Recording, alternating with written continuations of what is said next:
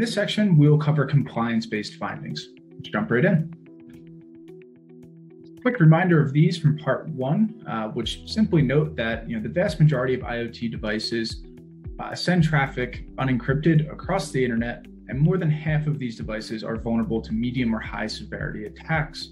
Um, and this Hacker Noon uh, article, as I mentioned, we will dive into that finding. Um, and so let's do that now. These are exercise bikes that are sending logs out in plain text over HTTP out across the internet.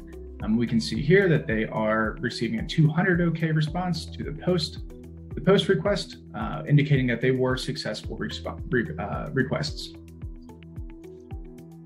And so within these logs, we have an absolute plethora of sensitive user information. Um, we can see at the very top here, and this is all obfuscated, of course, to protect our users, um, but we can see the account name, password, station name, MAC address, and where it's going. And if we take a look at the data that's being sent out in these logs, we can see the location name, the location, uh, you know, short name for it. See the software model, um, the user nickname, the user first name, last name, email address, age, age range, gender, um, whether their height, their weight, their Facebook status, their use, their Twitter status, um, if they so choose to enable that. Um, we'll also take a look at their heart rate and how long they've worked out for in time, distance, calories, the amount of laps, and the overall score uh, that that workout was given. So really a plethora of information um, and very easy to pivot off this information to do further damage. Next up, we have a smart TV. Uh, and again, these are doing plain, plain text check-ins, um, calling back home.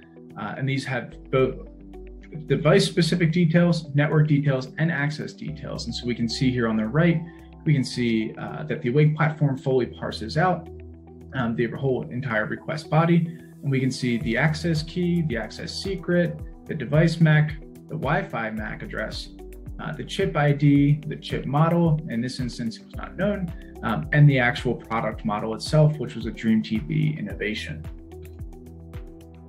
Next up, we have an Amazon Fire TV Cube, uh, which was doing UPnP um, enumeration and reporting. And so I mentioned in the previous part uh, the concept of characteristic artifacts or fingerprints um, and fingerprints are really the artifacts that make this device um, notable and rather unique on the network. Um, so Awake is constantly doing kind of similarity analysis to see how devices are related to one another in the network.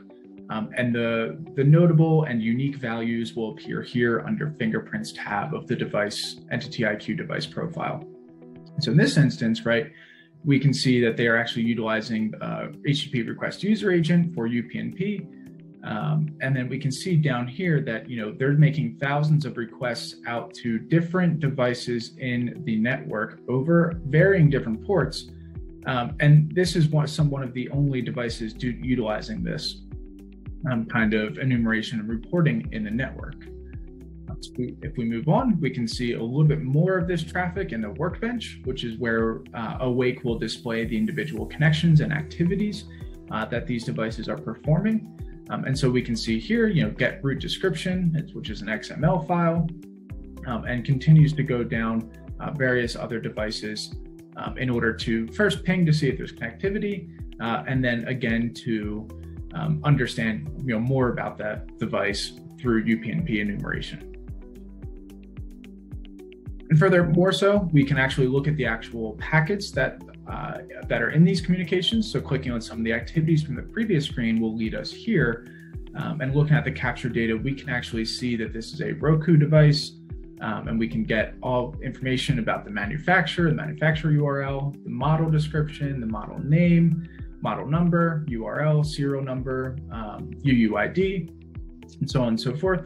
Uh, and then on the left-hand side, we can see um, that when the device goes to enumerate one of the other devices in the network, um, we can see that it's actually pulling back the server name, product version, or sorry, protocol version, product version, and server ID, and the specific port that it can be utilized to talk to. Um, so very interesting information, uh, something that we might not expect from an Amazon Fire TV Cube, um, but nonetheless, here we are. And look at another example of this as well. We can see the actual device name here.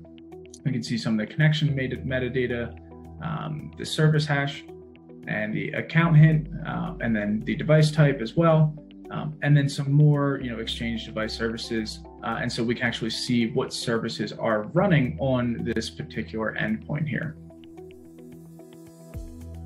Moving on, we have some Shure IoT audio devices utilizing basic uh, authorization, which is base 64 encoded credentials.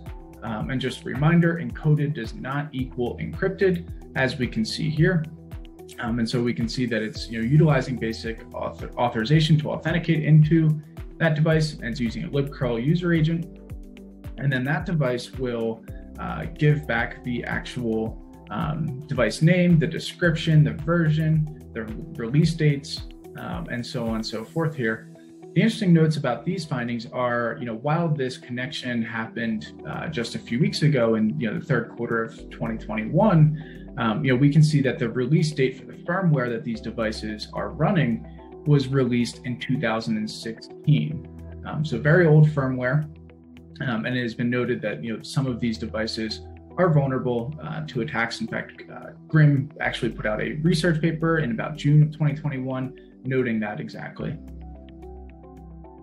And the list really goes on here um, as far as compliance findings go. Um, we've seen smart beverage systems phoning home and play text with Wi Fi information, um, HVAC system managed via RDP, uh, remotely by a vendor. Um, and the, one of the more interesting ones was a dozens of remote uh, ATM communications communicating back the location and customer transaction across the internet in straight plain text. And that wraps up uh, part four, our compliance based findings. Uh, thanks for tuning in and be sure to tune in for part five, where we will take a look at malicious findings. Thanks.